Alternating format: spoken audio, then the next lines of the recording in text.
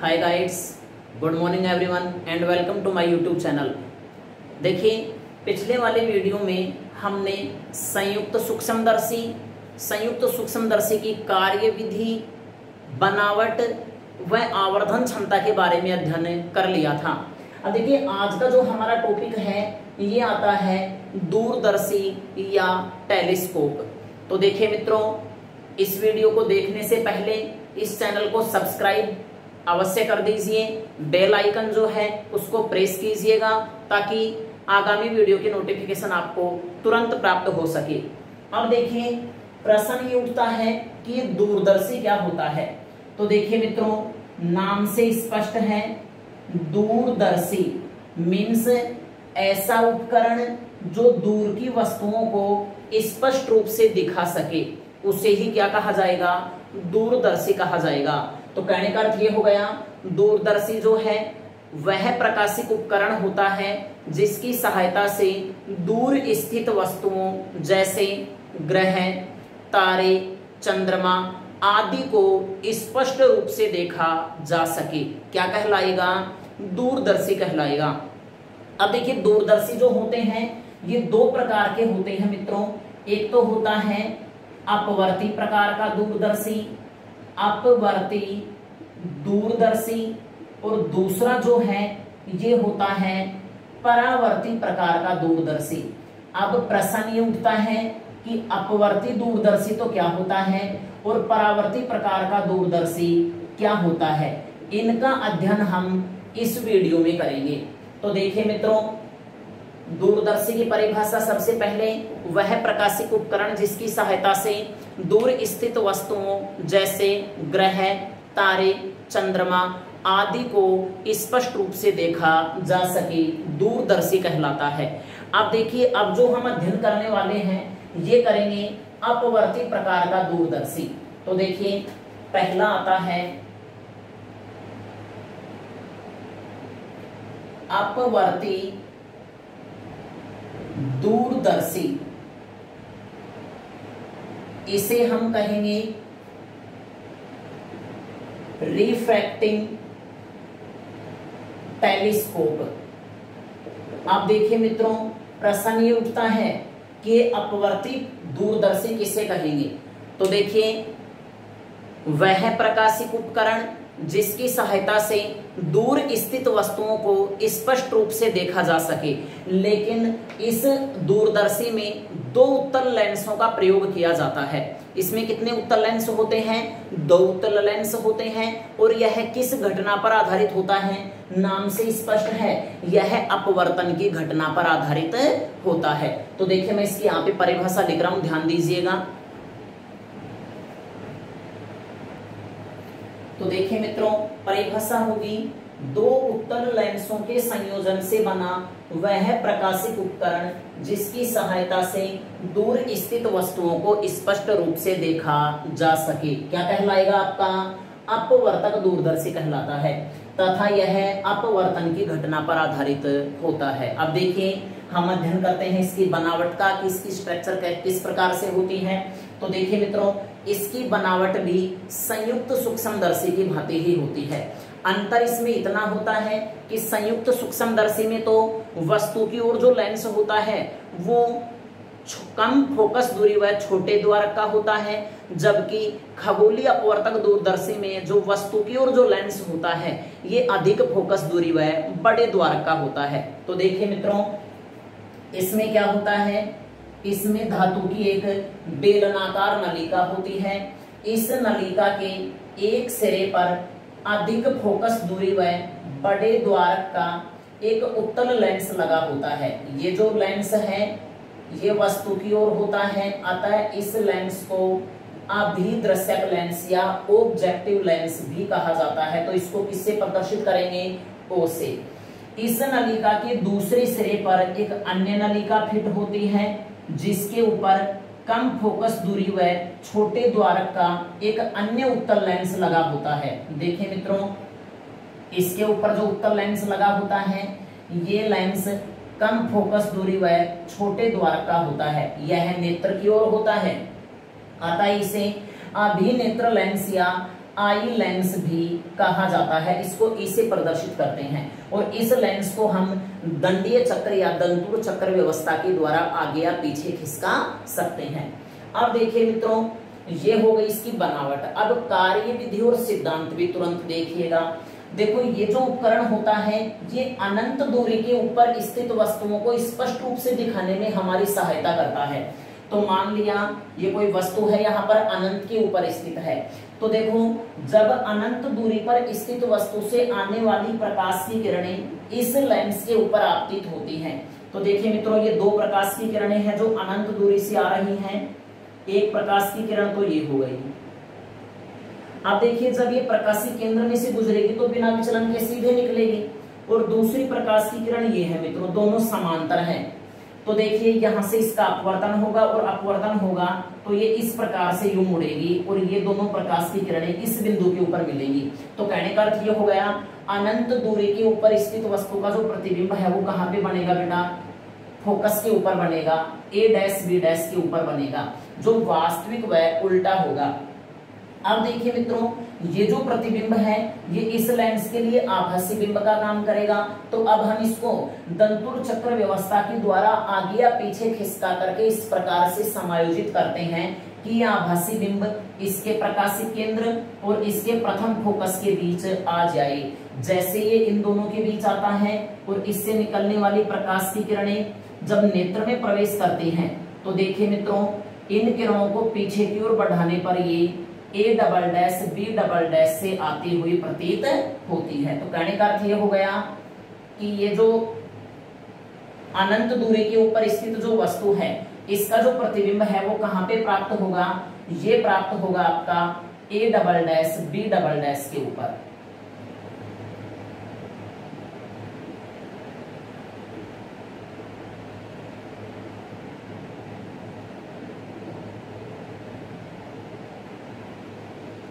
देखिए, ये प्रतिबिंब प्राप्त हो गया A double dash B double dash के ऊपर। तो एक बार फिर से ध्यान देना इसकी बनावट। इसमें धातु की एक बेलनाकार नलिका होती है, जिसके एक सिरे पर अधिक फोकस दूरी व बड़े द्वारा का एक उत्तर लेंस लगा होता है। यह वस्तु की ओर होता है, अतः इसे अभिदृश्यक लेंस भी कहा जाता है। दूसरे सिरे पर एक अन्य नलिका फिट होती है, जिस पर कम फोकस दूरी व छोटे द्वारा का एक अन्य उत्तर लेंस लगा होता है। यह लेंस नेत्र की ओर होता है। अतः इस लेंस को अभिनेत्र लेंस भी कहा जाता है और अभिनेत्र लेंस को दंडीय चक्र व्यवस्था के द्वारा आगे या पीछे खिसकाया जा सकता है। अब देखिए मित्रों, कार्य विधि व सिद्धांत। जब अनंत दूरी पर स्थित वस्तु से आने वाली समानांतर प्रकाश की किरणें इस लेंस के ऊपर आपतित होती हैं तो इस लेंस के द्वारा यहाँ स्थित वस्तु का जो प्रतिबिंब बनाया जाएगा, वो इसी के फोकस के ऊपर बनाया जाएगा, क्योंकि वस्तु अनंत के ऊपर है। तो देखो मित्रों, यहाँ से यहाँ तक की जो दूरी है, ये एफ़ ज़ीरो के बराबर में होगी। अब ये जो प्रतिबिंब है, ये इस लेंस के लिए आभासी बिंब का काम करेगा। तो इसको आगे या पीछे खिसका करके इस प्रकार से सेट करेंगे कि आभासी बिंब इसके प्रकाशी केंद्र और प्रथम फोकस के बीच आ जाए। जैसे ये प्रकाशी केंद्र और प्रथम फोकस के बीच आता है और इससे निकलने वाली प्रकाश की किरणें जब नेत्र में प्रवेश करती हैं तो पीछे की ओर बढ़ाने पर ये A double dash B double dash से आती हुई प्रतीत होती है। तो देखिए मित्रों अनंत दूरी के ऊपर स्थित वस्तु का प्रतिबिंब कहाँ पर प्राप्त होगा? A double dash B double dash के ऊपर। तो ये जो देखिए, यहाँ से यहाँ तक की जो दूरी है ये हो जाएगी यूपी तो ऐसा कीजिएगा, इसका स्क्रीनशॉट लीजिएगा, फिर हम आगे इसकी बनावट में चलते हैं।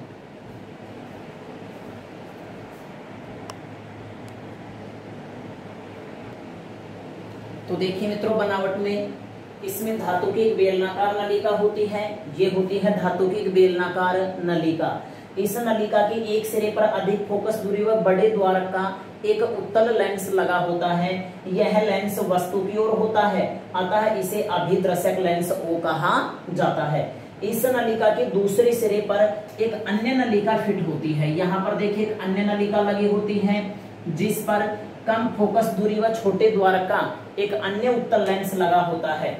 कम फोकस दूरी व छोटे द्वारक का एक अन्य उत्तर लेंस लगा होता है। यह नेत्र की ओर होता है, अतः इसे अभिनेत्र लेंस ए कहा जाता है। इस अभिनेत्र लेंस को आगे या पीछे खिसका सकते हैं।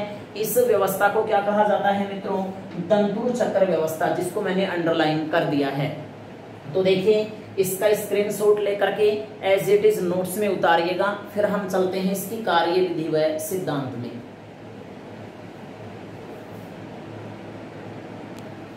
तो देखिए मित्रों कार्य विधि में जब अनंत दूरी पर स्थित, देखो यहाँ पे कोई वस्तु स्थित है अनंत दूरी के ऊपर। जब अनंत दूरी के ऊपर स्थित वस्तु से चलने वाली समानांतर प्रकाश की किरणें अभिद्रशक लेंस के ऊपर आपतित होती है तो इस लेंस के द्वारा यहाँ स्थित वस्तु का जो प्रतिबिंब ए डैश बी डैश जो है, वो इसी लेंस के फोकस के ऊपर बनाया जाता है। तो कहने का अर्थ ये हो गया, यहाँ से यहाँ तक की जो प्रतिबिंब की जो दूरी है, वो किसके बराबर में होगी? अभिद्रशक लेंस की फोकस दूरी के बराबर में होगी। अब देखो, ये जो प्रतिबिंब बना है, ये प्रतिबिंब इस लेंस के लिए किसका काम करेगा? आभासी बिंब का। तो अब हम दंतुर चक्र व्यवस्था के द्वारा, अब यही प्रतिबिंब अभिनेत्र लेंस के लिए आभासी बिंब का कार्य करता है। अतः दंतुर चक्र व्यवस्था के द्वारा अभिनेत्र लेंस को आगे या पीछे खिसकाकर इस प्रकार समायोजित किया जाता है कि यह आभासी बिंब। इसके प्रकाशी केंद्र? किसके? अभिनेत्र लेंस के प्रकाशित केंद्र व प्रथम फोकस के बीच आ जाए। अब देखो, इसका जो प्रथम फोकस है वो है एफ़ ई अब जैसे ही ये आभासी बिंब इन दोनों के बीच आता है और इनसे निकलने वाली प्रकाश की किरणें जब नेत्र में प्रवेश करती हैं तो ए डैश बी डैश का सीधा बढ़ा हुआ आभासी प्रतिबिंब A double dash B double dash पर प्राप्त होता है। तो देखिए, इसका एज इट इज़ स्क्रीनशॉट लीजिएगा, फिर हम चलेंगे इसकी आवर्धन क्षमता में।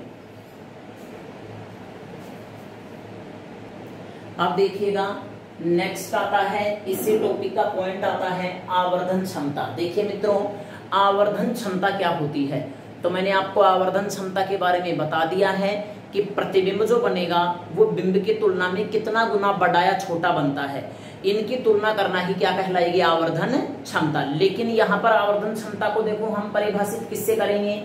हम परिभाषित करेंगे कि प्रतिबिंब के द्वारा जो नेत्र के ऊपर कोण बनता है, देखो नेत्र को हम मित्रों यहाँ पे मान के चलते हैं प्रकाशी केंद्र के पास में। तो देखो, अंतिम प्रतिबिंब के द्वारा, अंतिम प्रतिबिंब के द्वारा नेत्र पर बने कोण व बिंब के द्वारा नेत्र पर बने कोण का अनुपात ही क्या कहलाती है? आवर्धन क्षमता कहलाती है। तो देखिए, अंतिम प्रतिबिंब के द्वारा जो नेत्र के ऊपर कोण बनता है, उसको तो हम किससे रिप्रेजेंट करते हैं? बीटा से। और देखो मित्रों, यहाँ जो वस्तु है, ये वस्तु नेत्र के साथ जो कोण बनाएगी, जो दर्शन कोण बनाएगी, उसे हम रिप्रेजेंट किससे करेंगे? अल्फ़ा से। तो ध्यान देना, जब ये कोण आपका अल्फ़ा है तो ये कोण भी अल्फ़ा ही होगा, क्योंकि ये इसका अल्टरनेट एंगल या एकांत सॉरी शेरसा विमुख कोण है। इसका अपोजिट वर्टिकल एंगल है। तो देखिए मित्रों, यहाँ पे इसकी परिभाषा लिखते हैं क्या?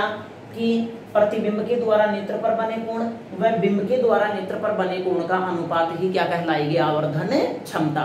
लेकिन अगर हम संयुक्त सूक्ष्मदर्शी की बात करें तो उसमें आवर्धन क्षमता की परिभाषा थी। प्रतिबिंब के द्वारा नेत्र पर बने कोण व स्पष्ट दृष्टि की न्यूनतम दूरी पर स्थित बिंब के द्वारा नेत्र पर बने कोण का अनुपात। चूँकि ये जो दूरदर्शी है, ये अनंत दूरी के ऊपर स्थित वस्तुओं को दिखाने में हमारी सहायता करता है। तो इसमें स्वाभाविक है, जो बिंब है वो स्पष्ट दृष्टि की न्यूनतम दूरी के ऊपर तो हो नहीं सकता। तो ये कहाँ पर स्थित है? अनंत पर। अनंत पर स्थित होने के कारण हम दर्शन कोण यहीं पे मान के चलते हैं। तो देखिए, मैं इसकी परिभाषा लिख देता हूँ, ध्यान दीजिए। तो देखिए मित्रों, परिभाषा प्रतिबिंब के द्वारा नेत्र पर बने कोण, बीटा वह बिंब के द्वारा नेत्र पर बने कोण अल्फ़ा का अनुपात, आवर्धन क्षमता कहलाती है।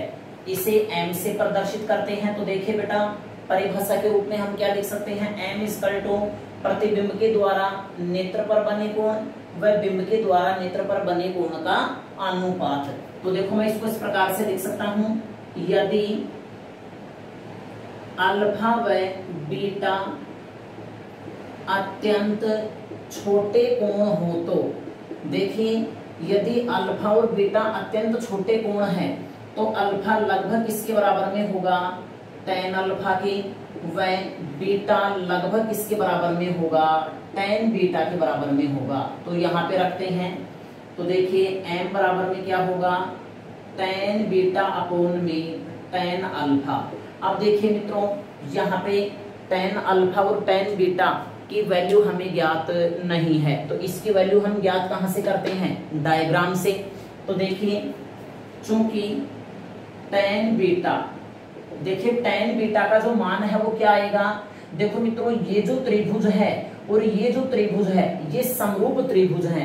तो समरूप है तो देखो, हम इसकी तुलना इस वाले त्रिभुज के साथ करेंगे। यानी कि A dash B dash E की तुलना किससे करेंगे? A dash B dash O से। तो देखिए टेन बीटा इजकल टू क्या होगा? लंब बटा में आधार। तो लंब तो हो जाएगा आपका ए डैश बी डैश और आधार आपका क्या हो जाएगा? ए डैश ई तो देखो मैं इसको इस प्रकार से लिख सकता हूँ। A dash B dash upon में ए डैश ई ये आभासी बिंब का काम करेगा इसके लिए। तो यहाँ से यहाँ तक की दूरी क्या हो जाएगी?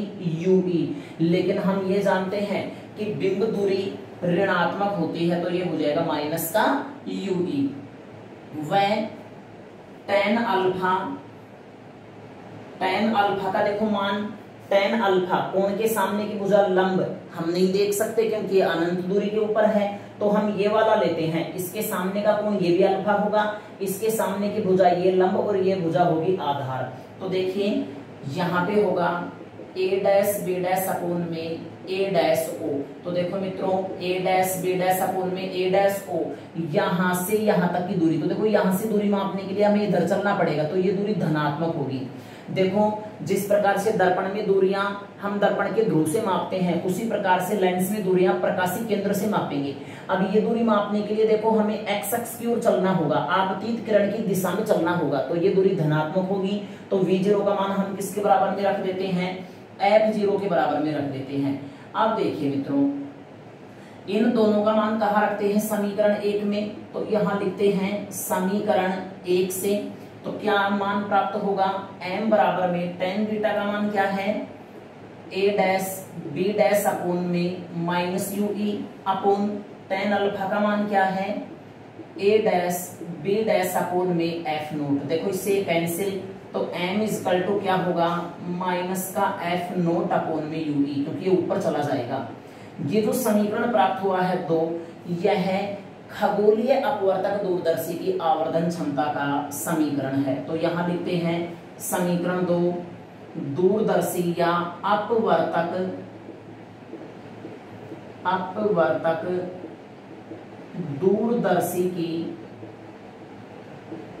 आवर्धन क्षमता का समीकरण है। तो देखो, ये तो आया है सामान्य स्थिति में। अब हम इसकी दो स्थितियों का अध्ययन और करेंगे तो पहले इसका स्क्रीनशॉट लेकर के इसको एज इट इज़ उतारिए नोट्स में, फिर हम इसके दोनों स्थितियों में चलते हैं। और ध्यान दीजिए मित्रों, यदि आपको ये टॉपिक समझ में आ रहा है टॉपिक अच्छा लगा है वीडियो अच्छा लगा है तो इसको सब्सक्राइब और लाइक करना न भूलें।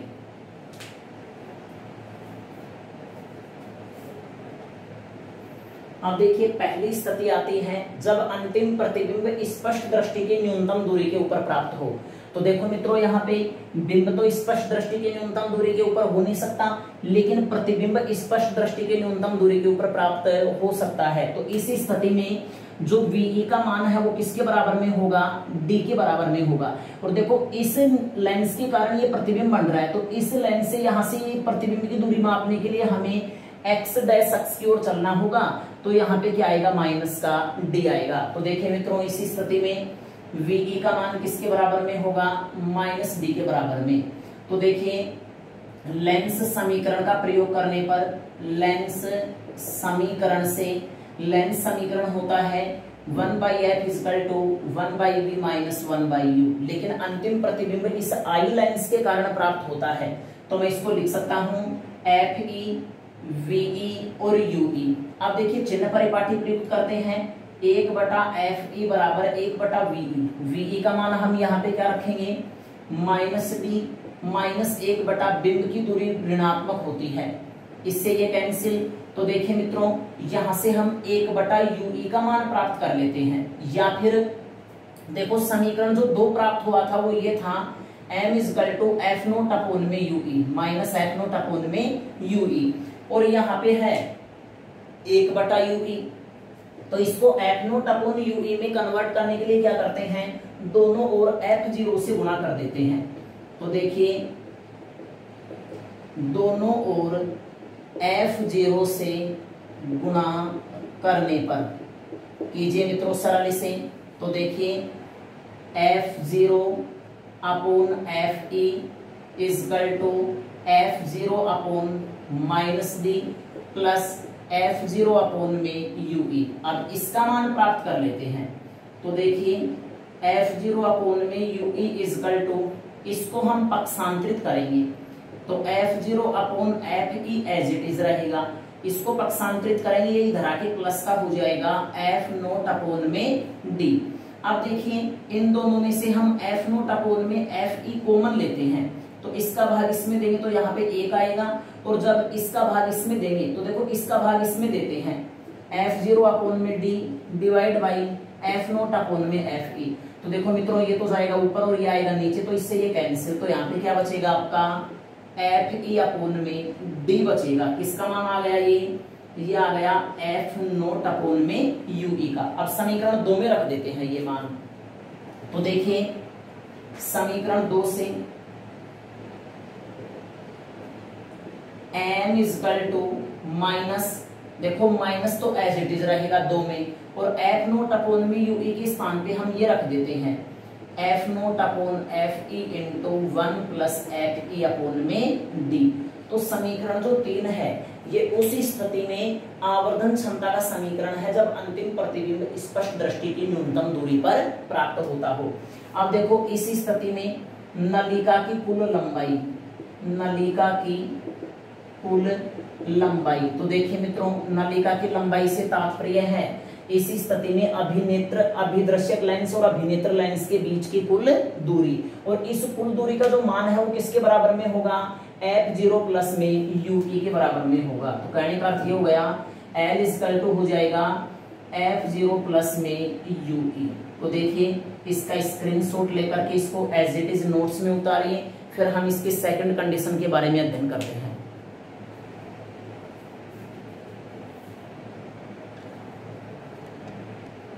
अब देखिए सेकंड कंडीशन आती है, जब अंतिम प्रतिबिंब अनंत पर प्राप्त हो तो देखिए मित्रों, अंतिम प्रतिबिंब अनंत के ऊपर प्राप्त होगा तो देखो इसके लिए आपको डायग्राम अलग से बनाना होगा, जो मैंने यहाँ पे बना रखा है। देखो, अंतिम प्रतिबिंब अनंत के ऊपर कब बनेगा? जब इस नेत्र के लिए जो बिंब का काम कर रहा है, ये बिंब कहाँ पे हो? इसी के फोकस के ऊपर। तो देखो मित्रों, अब की बार जो एफ़ ई है, वो यहीं पे होगा तो यू ई का मान किसके बराबर में हो जाएगा? एफ़ ई के बराबर में हो जाएगा। तो कहने का अर्थ ये है कि इस स्थिति में यू का जो मान है वो किसके बराबर में होगा? यू का मान बराबर में होगा एफ़ ई के तो ये मान सीधे समीकरण दो में रख देते हैं।